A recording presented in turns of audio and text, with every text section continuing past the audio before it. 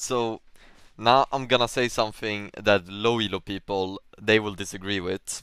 But assassins the assassins assassins before this patch okay before before 12.10 in 12.9 assassins was like the second worst role in the game.